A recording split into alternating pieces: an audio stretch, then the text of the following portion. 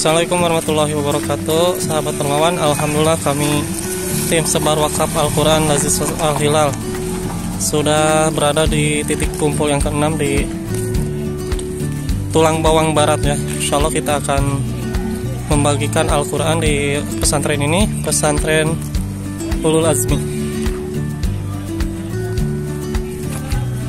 Alhamdulillah truk Al-Quran sudah datang Dari tim Sebar Wakaf juga sudah datang Insya Allah bentar lagi kita akan uh, memulai pembagian wakaf Al-Qurannya. Terima kasih. Assalamualaikum warahmatullahi wabarakatuh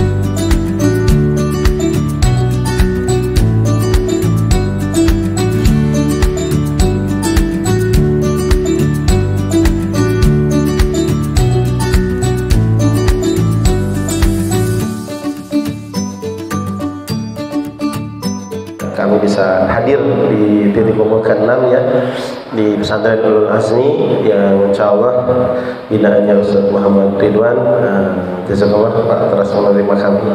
Dan insya Allah Bapak Ibu semuanya kami ada beberapa hal yang akan disampaikan sebagai amanah yang harus kami tunaikan.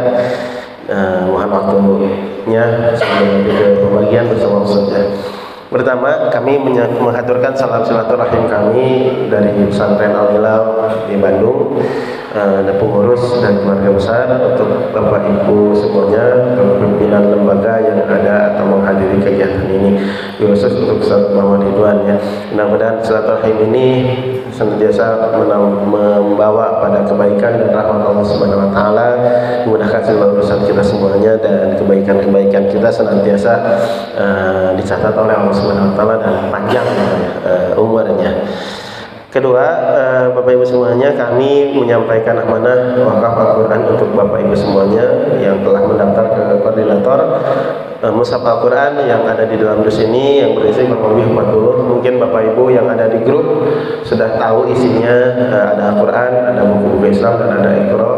Mohon amanah yang kami sampaikan mohon digunakan dengan sebaik-baiknya, digunakan oleh para santri, ustaz siapa pun yang ada di lembaga Bapak Ibu semuanya. Dan mudah-mudahan senantiasa mendoakan bagi para muwakifnya yang donatur yang mewakafkannya. Jadi ya sebagaimana doa yang tadi disampaikan menjadi amal jariah ya Pak ya untuk kita semuanya khususnya untuk yang bermuwakif uh, inginnya kami hadir ke lokasi Pak sebetulnya ya ingin hadir ke lokasi masing-masing namun karena memang waktu dan segala keterbatasan yang ada yang akhirnya salah satu inisiasinya adalah kita berkumpul bersama di titik koordinator. Luar biasa ternyata yang Lampung uh, lebih panas dari Sumatera kalau masalah ya Sumsel atau mungkin dia sama-sama haridang kalau bahasa kita ya Pak ya. Sama-sama gerah itu saya sendiri luar biasa.